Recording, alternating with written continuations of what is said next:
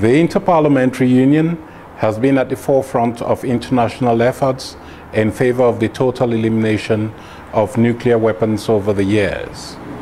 Our organization has played a decisive role in mobilizing parliamentary action towards the common goal of a nuclear weapon-free world.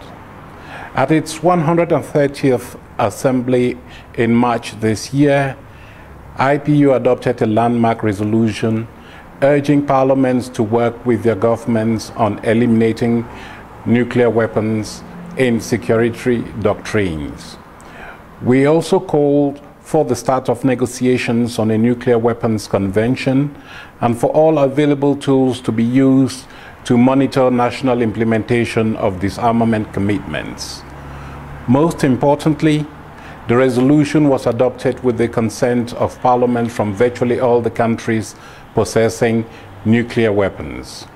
This shows once more that where there is a political will, there is definitely a way to change things.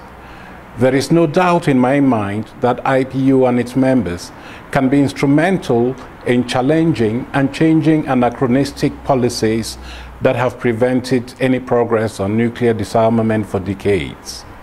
Today, today there are 17,000 nuclear weapons ready to be used, constituting one of the most serious threats to international peace and security. Using them, whether by accident, miscalculation, or intent, would have devastating humanitarian and environmental consequences.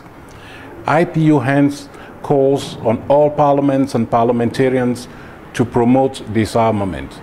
It also encourages members to promote and commemorate the International Day for the total elimination of nuclear weapons on September 26th, including by participating in the Unfold Zero campaign.